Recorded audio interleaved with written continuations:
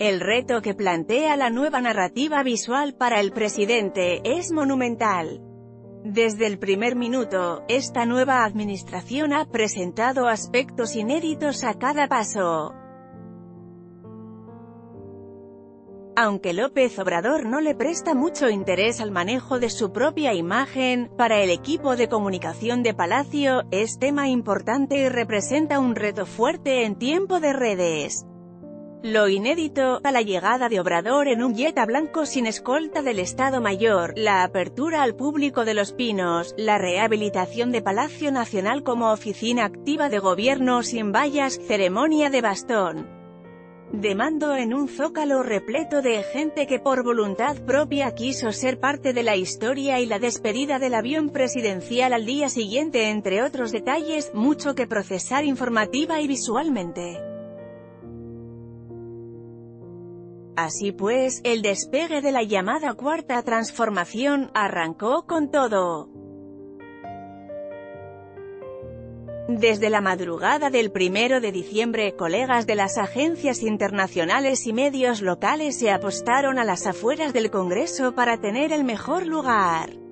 Yo arribé al amanecer y me dio mucho gusto encontrarme harto compañero a quienes conozco desde hace décadas y con los que incluso he tenido el honor de compartir distintas redacciones.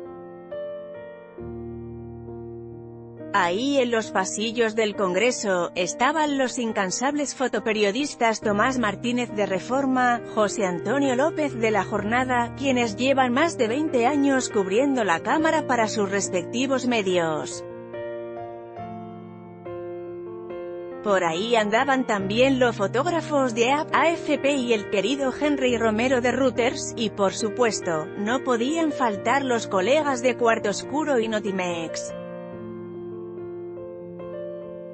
También me dio gusto ver nuevos fotógrafos y cada vez más profesionales del género femenino para quienes su esfuerzo y trabajo siempre requieren de remontar el machismo tradicional del gremio. Por ahí andaba también el buen Jorge Serratos de El Universal, veterano fotógrafo y quien es uno de los profesionales más respetados de aquel departamento de foto, siempre poniendo el ejemplo con trabajo de calle. Arriba en los balcones, la mirada curiosa de Miguel Di Mayuga de Proceso, Héctor Guerrero del País y Lalo Jiménez de Excelsior, entre muchos otros.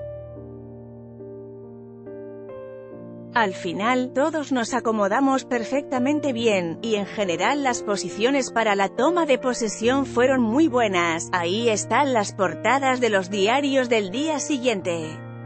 Aunque varias imágenes se repitieron, en general hubo buena cobertura. La excepción fue precisamente este diario, que salió con una apuesta sin imagen, con la primer línea de «Me canso ganso», que resultó muy celebrada en redes por su originalidad.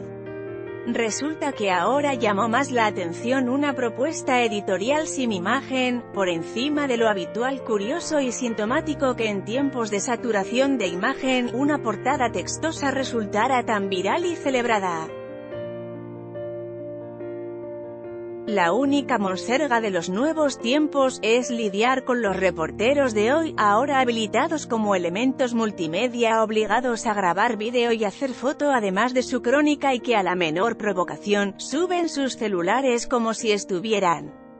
en un concierto de Luis Miguel, ojalá en el corto plazo, las áreas responsables se actualicen y mejoren la organización de cara a los nuevos tiempos, esos celulares que brincan a cada rato son una lata, ensucian toda imagen profesional. Por ahí, también alcanzamos a ver a Daniel Aguilar, multipremiado fotógrafo que anda cerquita, cerquita de Andrés Manuel y que hoy regularmente manda sus imágenes al diario La Razón, siempre ofreciendo una mirada oportuna, y mientras unos llegan, otros se van. A lo lejos alcancé a ver a Juan Carlos Morales, fotógrafo personal de Peña Nieto de los últimos seis años, en lo que fue sin duda su última jornada laboral al lado del expresidente. Así pues, después de una jornada vibrante y extensa, momento histórico sin duda, varios nos dirigimos al Zócalo para cerrar la tarde con el evento multitudinario frente a Palacio Nacional con la entrega del bastón de mando que recibió el ya nuevo presidente de la República Andrés Manuel López Obrador. De ese ritual, es esta imagen que hice justo desde el corazón de nuestro país para dar testimonio sobre una nueva narrativa en la imagen del poder y su alcance en el primer día, de la recién inaugurada Cuarta Transformación. Twitter arroba Maxulises